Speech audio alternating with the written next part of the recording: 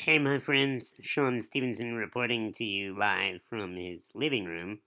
I'm in this uh, specially made cart that can be towed around the house so that I can go from one room to the next. It's about like three inches off the ground.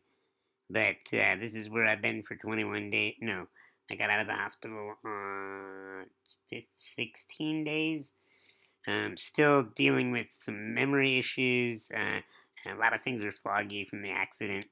I haven't explained the accident to you personally yet. I will. Um, just working through uh, the emotions of it because it's uh, it's very personal, and you'll see why when I tell you about it. But I'm just uh, taking this two minutes to just tell you one that I'm uh, having a good day today. I'm feeling better. Um, got off of the bad meds. Um, I'm down on my medication, so I'm more lucid. I'm coming back stronger. I probably have another 20 days or so more, 24 days more left of my recovery. So about halfway through. Um, my uh, right side of my skull is um, coming together nicely. Um, my fractures on the right side of my body are healing up slowly.